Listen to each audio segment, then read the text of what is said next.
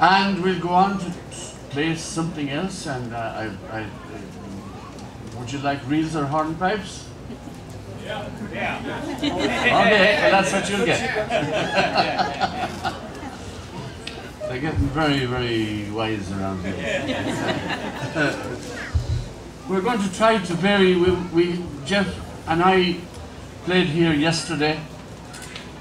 By the way, Jeff sat in at very short notice. I had no idea who might, or if I could get anyone to help me out in this uh, festival, but I was very lucky to meet Jeff for the first time, and at very short notice, he was generous enough to agree to come on stage with me, and it has been a, a spectacular combination.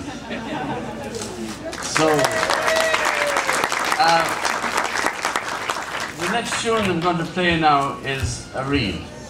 That's what you wanted, wasn't it? and we, I, I, as, I, as I said, I was about to say that I'm going to try to vary the, the program from yesterday. I, I hate playing all the same tunes at each set, so we try to try to um, not to do the same thing all the time. Repeat sometimes, but try to diversify it a little bit. So, the tune I just thought about playing now, it's not on this list here, but I thought of it in my own head. It's called Peter Street, and it's a well-known accordion reel. Most of the music that we that I play uh, would be regarded as, you know, fiddle music or piping music. But there's some very nice accordion music that I like to play from time to time. This reel is called Peter Street. It's regarded as a fairly challenging tune, but um, well, it sounds that way. It's not that terribly, not that very difficult. If it was, we wouldn't play. but uh, the, the second tune then, that's in the key of G, Jeff. Second tune then is called the Donegal Traveller, and it's a tune that I've been playing for quite a while. It's um, in the key of A.